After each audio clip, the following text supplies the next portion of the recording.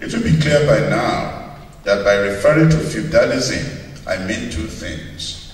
First, it's a whole social order whose principal feature is the domination of the rest of society, mainly peasants, by a military land-owning aristocracy. This is the situation that will be found almost exclusively in parts of modern-day northern Nigeria. However, it is my second definition that is most important, and it is the psychological. And from whatever way one comes to it, to, one comes at it in terms of social theory, Weberian or Marxian, it corresponds to a feudalism of the soul. It is to be found all over, our, all over the country. What I'm referring to is the ethos in which social relations are very broadly conceived as a series of pyramid structures. In other words, everybody knows everybody's place. We are hardly citizens in our own country, which explains why so many of us still want to leave. This must be good news for Mrs. Ngozi Okonjo-Iweala, considering that she now believes that the money sent home by expat Nigerians amounts to a national treasure. So I wonder what the lady thinks about taxation. I think I have already taken enough time in my preamble. I want to beg your patience while I limit myself to arguing as briefly as possible around three interconnected policy topics through which I believe the struggle for cultural democracy urgently needs to take place in our country.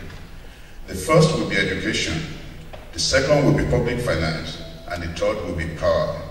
I will try as much as possible to spend no more than 10 minutes on each education. It goes without saying that Nigeria's education system has been in crisis for years. Without beating about the bush, the education system has lost not just direction, but its entire soul. The solution I propose cannot solve the underlying problems. However, I believe the crisis will turn into a disaster unless we look at education as the most fundamental aspect of our hopes for Nigeria.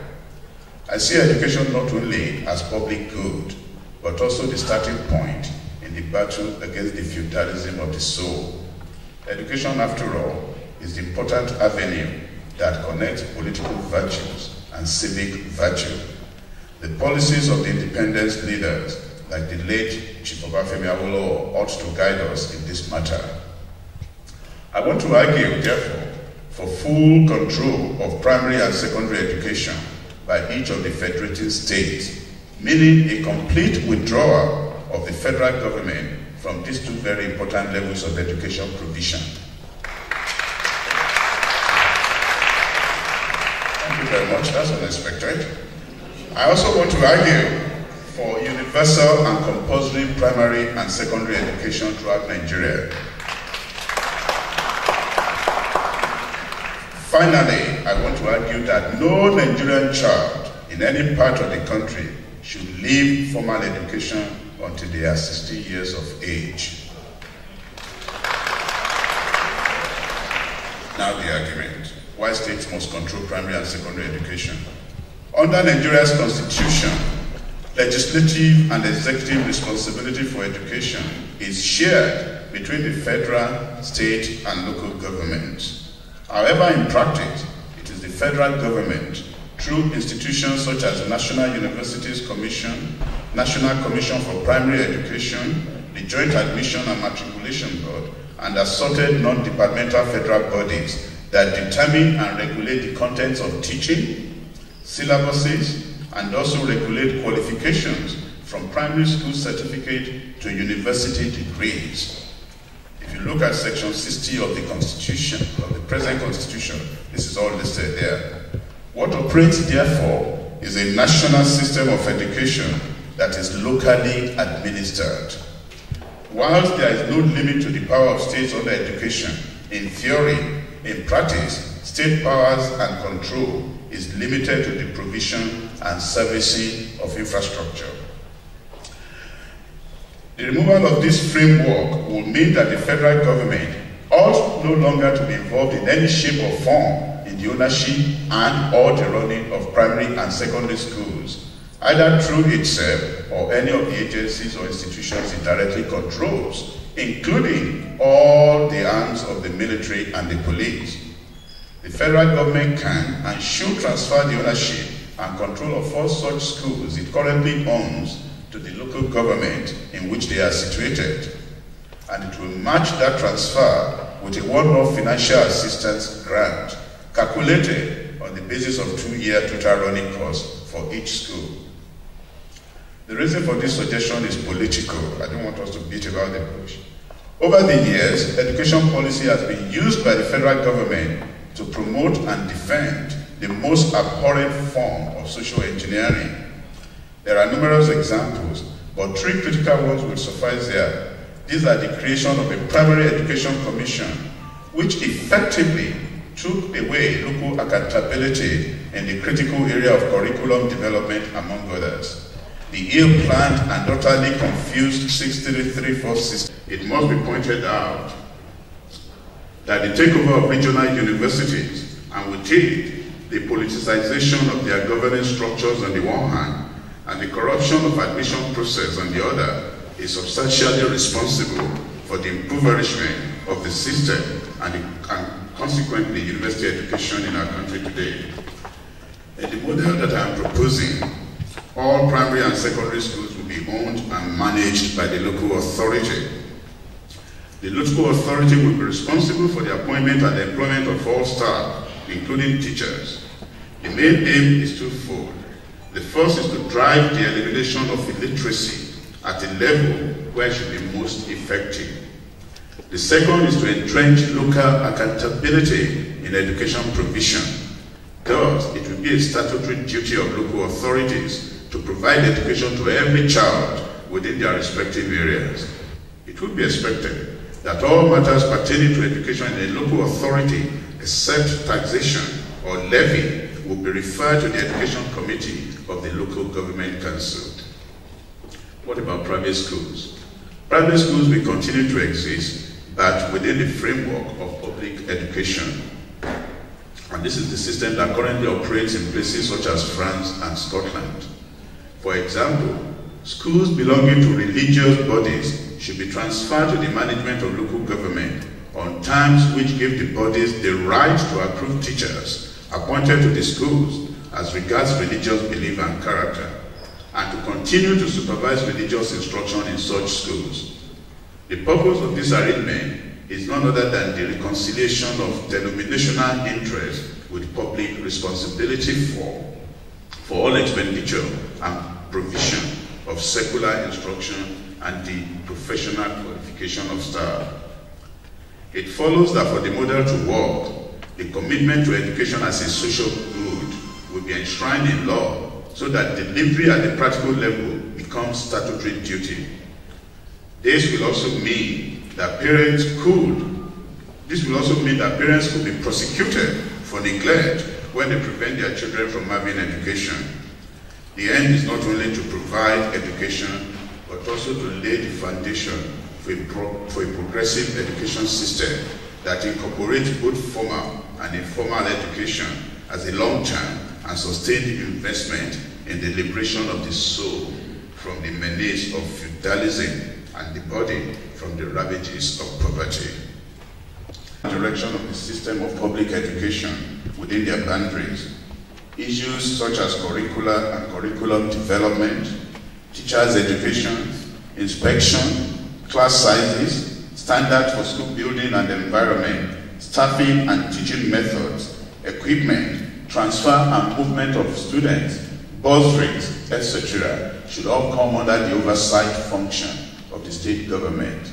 Indeed, the Commissioner for Education of the state ought to be given powers and duties related to the supervision of education in the state. And for good measure, I meant the state parliament giving those powers to the commissioner for education. In other words, it's not the governor who say, oh, Dr. Folorunso, I'll give you these powers to do this. Let that power be enshrined by the parliament of a state, or what you call the state house of assembly. If at any time the federal government feels compelled to support any aspect of primary and secondary education, for example, improvement in science teaching at secondary school level, or boost religious education at primary level, it can and should do so through special programs which, as long as they are verified by the National Assembly, will then be managed by the state in a way that suits their individual circumstances, but without departing from the original purpose of the program. It will be left to the National Audit Office and the National Assembly, not the Federal Ministry of Education, to monitor and ensure that the money was used as agreed. Time will not allow me to discuss the intrinsic and intrinsic merits of this system, but I'm willing to elaborate on them if raised, as should our esteemed chairman want to permit questions and answers. Now I can think of three reasonable concerns about this suggestion. The first is that the existing constitutional framework is sufficient and flexible enough to allow improvement in education without demanding the, the withdrawal of the federal government from primary and secondary education. The second is that even if the proposed changes were necessary, the local governments will not be able to meet the financial cost. The third is that if the local government, given that they already have control of primary education as one of their constitutionally assigned functions, were willing, they do not have the capacity to absorb and manage schools as I have described, and that they may not be able to do so for a while. I will spend some time on the first concern. The answer to the second concern will be clearer when I come to public finance, which, as I indicated earlier, is one of the three arguments that make up my definition of cultural democracy. As regards the third, the answer is rather simple. A redistribution of personnel from the state to local government bureaucracy, albeit on, on voluntary basis, and an improvement quality of remuneration coupled with new recruitment will provide a much needed capacity. In my view, one of the reasons that the local government bureaucracy is, is incompetent and weak is because, like the states to the federal government, it has been projected as an inferior platform of government. Ironically, this inferiority has more to do with the so-called protection given to the local governments by the Constitution. I will show when I come to the discussion of power how this superior-inferior complex can be removed, not in years, months, or weeks, but through a simple act of power redistribution, the aim of which is to destroy the hold of the feudalism of the soul, or the imagination, and of the conduct of our politics. Now to the first concern. I think the answer is no. The existing system is neither sufficient nor flexible to support any meaningful let alone progressive improvement in education in Nigeria. There are two issues underpinning my suggestion. These are principle of public education and quality of education on the one hand. The second is the centrality of education to democracy, be it liberal or social. There are grand gestures in the Constitution under social objectives about education, but there is evidence to show that as this passed from the level of declaration to the level of actual policies, differences of emphasis and actual contradictions soon emerge. Jeremy Bentham's characterization of the notion of natural and inalienable rights, as set out, for example, in the American Declaration of, of Independence, has so much boiling upon paper naturally comes to mind when one reads section 18.1 and 3 of our Constitution. That this is so is borne out by the recent kerfuffle over cutoff points for admission to the 104 so-called unity schools in the country.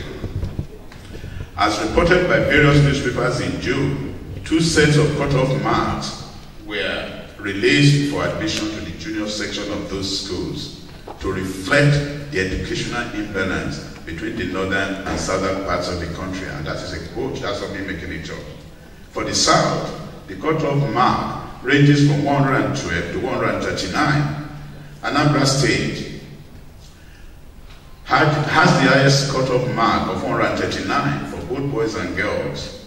Candidates who scored above that are entitled to automatic admission on the basis of merit. In the North, it ranges from 2 to 111. In Yobe, a score above 2 is enough to guarantee a candidate outright admission. There is another dimension to the admission structure. In some states, there's a higher cutoff mark for girls than boys. In Taraba State, it is 3 for boys and 11 for girls. Yobe has 2 for boys and 27 for girls. Sokoto 9 for boys and girls 13. Kebbi, 9 for boys and 20 for girls. However, Zamfara has 4 as the cutoff mark for boys and 3 for girls. I do not think we should flatter those behind this insane admission scheme by describing them as stupid or tribalist. The civil servants in the Federal Ministry of Education certainly have not heard of contradictory ideas and attitudes. Unity schools, yet an abysmally yet an abysmally segregated admission system, which in practice can only lead to resentment in the south and an undermining of those in the north who genuinely seek to improve their children's fortunes through education. This sort of admission gerrymandering will most certainly further impoverish policy choices for improving education in the north. One needs to look beyond the ethos of social climbing righteousness to, this, to see the stupidity of this announcement. But because it is Nigeria, everybody is looking at it. They want to do this for the north, they want south. It is stupid, it is dark. It makes a fool of everybody connected to it. In spite of the decay, in spite of the decay in education across the country, the North as a region still has arguably the lowest primary and secondary school enrollment as a result, it is likely that the primary and secondary school system in the North has remained consistently weaker than the rest of the country. Do not know the number of children who will benefit from this lowering of admission scores, but it is doubtful that there will be many. Even if all the eligible children in those states that are given single-digit scores were able to benefit, it is doubtful that the 104 unity schools will be able to absorb all of them without becoming northern unity schools. This would have done nothing to improve the quality of teaching and learning across the whole school system in the north, but landed the federal government with avoidable political crisis. The long-term effect, the long-term effect then is that the school system in the north is being prevented further from fulfilling one of the key purposes of education, which is improvement of ability. And in this case, I think it is the learner who suffers. I've been warned that I got less minutes than I thought. I was assured I'll be allowed to speak for an hour. Mr. Chairman, can I crave your protection here? Me speak one. He also taught us how to play, how to play pranks. But there's also a class issue here. Whose children are those most likely to benefit from this insane scheme? In all likelihood, these are the few offspring of parents working mainly in white-collar jobs, possibly many of them based within the public services in the states. Getting such children into federal government colleges on a generous market system may, be, may give the parents pride, but it is not doing much for other parents in those states, nor, nor for the states themselves or Nigeria for that matter. It is more likely to distort the true picture of the depth of the educational imbalance between the North and the South, while resentment as it has done among parents in the South. This is because anything less than universal education will not address the existing imbalance between the North and the South. Indeed, it looks as if it is collaborating to deepen age-old prejudices against women, the very group that education needs to target most vigorously to address poverty and underdevelopment. Apart from keeping girls in school longer, thereby possibly re reducing cases of child bride, educating women will also give them individual autonomy and depending on how long they stay in education, enhance their knowledge about their reproductive rights. This may not happen immediately, perhaps, but certainly in a time measured at most in decades universal education.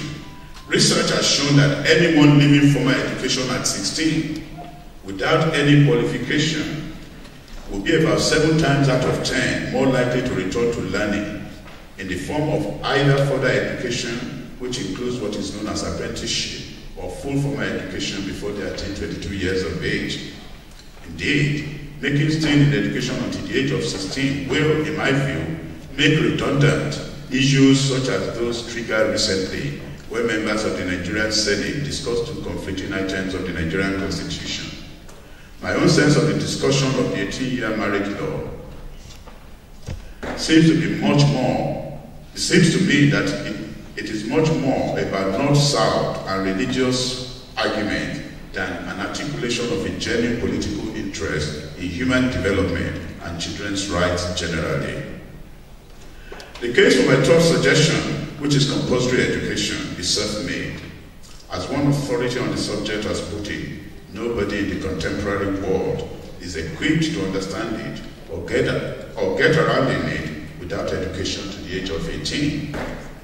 A progressive education system is one that is regarded not as a virtuous means of individual and social advancement for the disadvantaged, but collective good.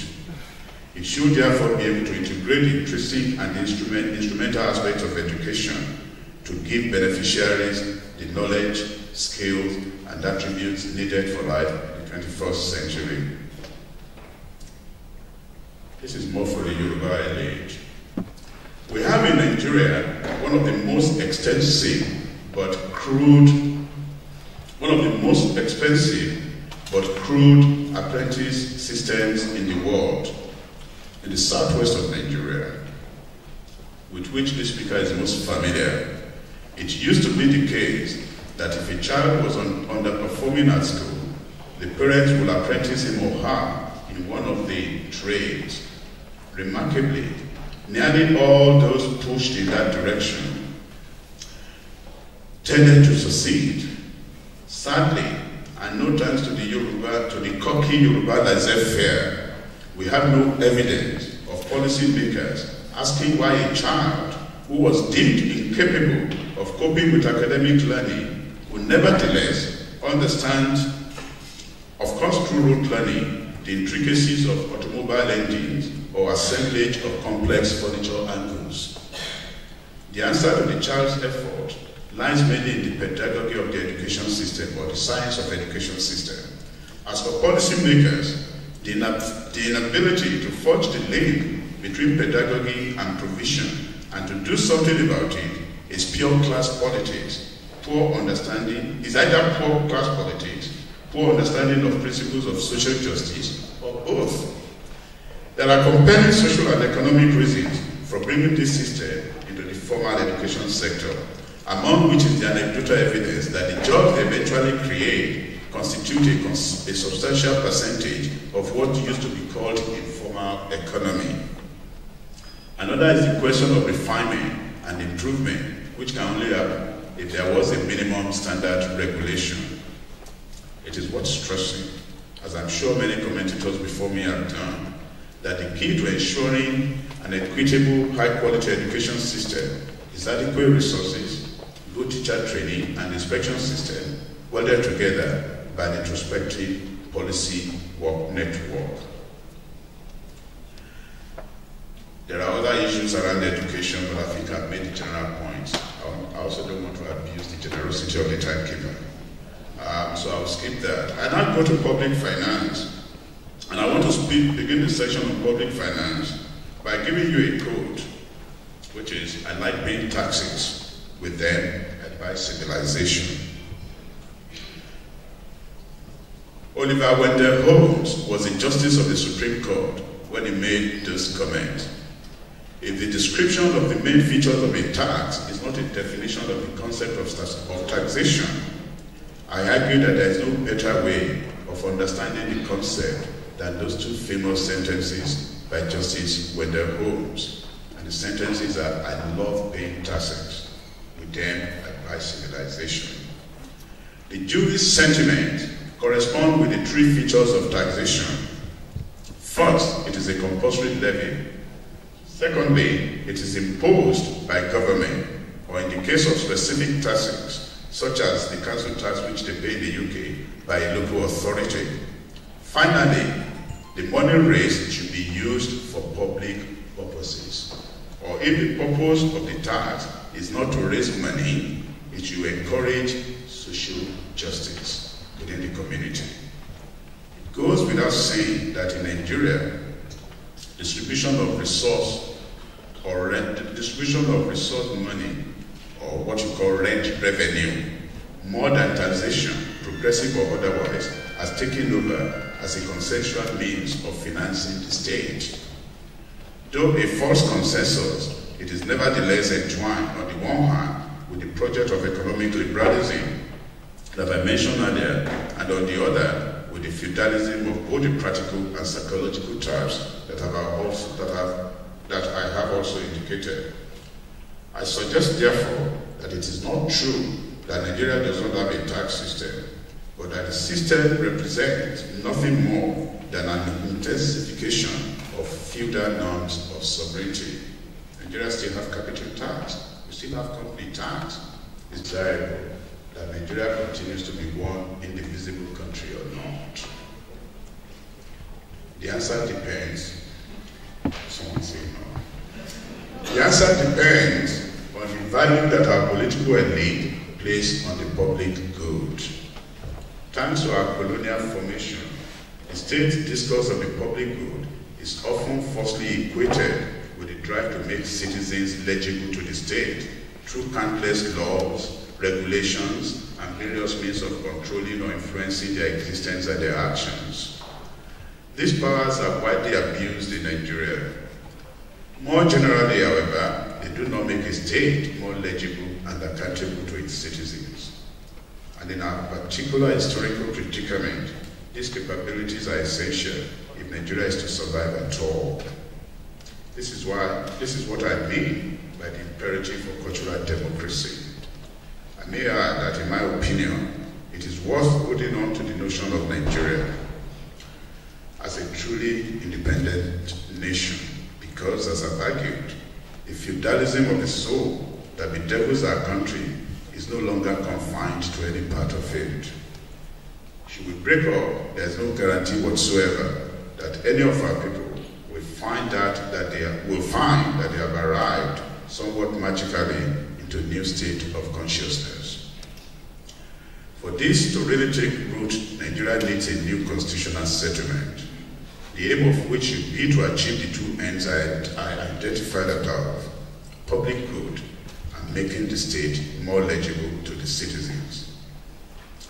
I think we require a constitution that is not a feudal arrangement inspired by the ancient logic of indirect rule and its institutional expression of power without frontier, but one that reflects the values of the component nations that make up the country and enables them to pay of their own free will the cost of maintaining or transforming those values. In short, a federal constitution in the classical sense as found in places as diverse as Germany, Canada, Australia, and of course the USA. It is only such that can begin to address the power relationship in our country. I suppose one has to leave the details to the politicians and you, the elite of commerce, intelligentsia, and of course politics. Demanding such a constitution should not be confused with promoting the breakup of Nigeria. It should be borne in mind that the first object here is to create institutional changes that could move Nigeria from its current state on the one hand, and on the other, to change political behavior and culture with a view to transforming our pluralistic nation on basis that will give dignity to Nigerians. The hallmark of a good constitution is that its broadness is captured in a concise form so that it covers all required areas of the state in its relations with the people and allows for possible different interpretations without appearing absurd. Nigerian constitution has about 200 pages. There is no other constitution in the world that is as voluminous. The 1999 constitution represents the ultimate triumph of what I described earlier as the right hand of the state in Nigeria. As the instrument for enforcing economic liberalism and simultaneous displacement of political liberalism, the right hand of the Nigerian state remains suspicious, if not distrustful, of any idea of social compact, let alone cultural democracy. Parallel undermining of the left hand of the state has ensured that whatever little moral ethics remain at the heart of the state will continue to be ineffectual, if not totally meaningless. In my view, it is this ideological suspicion and not poor or inadequate legal draftsmanship that is behind some of the obviously counterintuitive provisions in this, the current constitution. In other words, I'm saying that when people talk about the constitution as being drafted by idiots who are making a mistake, they are not idiots. They had a plan. They had a game while drafting that constitution. A good illustration of this is the provision on the creation of new states or local government areas in the country. What is not widely recognized is that even if all the requirements were met, it still will not be enough to create a new state or local government. This is because the previous clause stipulates the number of states and the number of local governments in the country. This means that creating a new local government in, say, Akwa Ibom State will require the whole country going through the process of a constitutional amendment, consent of two-thirds of the National Assembly, and consent of a simple majority of two-thirds of the total state houses of assembly in the country. Since we have 17 states in the south and 19 in the north, it follows that at least seven states in the north will have to agree to Akwa Ibom's new local government. That is assuming that all the southern states agree to it. This is the position, despite the fact that the affected population in the proposed local government area in Akwa, in Akwa Ibom state have expressed their will in a referendum and met all the requirements for creating a new local government as stipulated in the constitution. And that, that same process will apply if we want to create a Sekoni local government in Odo town. It is not a surprise, therefore, that the present crisis of legitimacy, whilst spurring on ethnic, regional nationalism, has also reawakened the imperial and anti-colonial antinomies of our country's formation. With economic liberalism, the burgeoning hopes for transparency and an open market of the pre-12 independence years has been destroyed, and in its place, a new regime of personal bonds and clientelism, now instituted as an economic way of life. Fueled by our revenue, clientelism has resulted in all the arenas of power in the country being tainted by corruption. Even today, the prospect of an all-out control of oil revenue has become something of regional desire in the conduct of our country's politics, thus the battle of political commerce. This argument is what needs to be taken into account while debating what type of constitution our country needs. Chairman, sir, dear absent excellencies, and distinguished guests, all that I have said so far is to alert you to the task ahead, not to spoil you into an ethnic rage against Nigerian state. Fifty years ago, the public health system in the old western region, including a substantial, a substantial part of what is now Lagos State, was far more modern and effective than what obtained in China or Korea. India did not figure that much in the equation.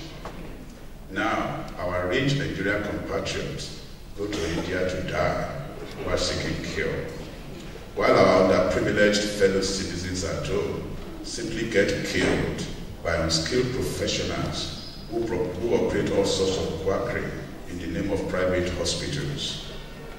It is bearing all this in mind that I want to leave you with the words of the English theologian and theologian and academic William Ralph Inge, 1860 to 1954, who was a professor of divinity at Cambridge and dean of St. Paul's Cathedral, London.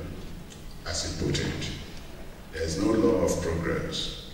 Our future is in our own hands, to make or to mar. It will be an uphill task, up, uphill fight to the end, and we will have it otherwise.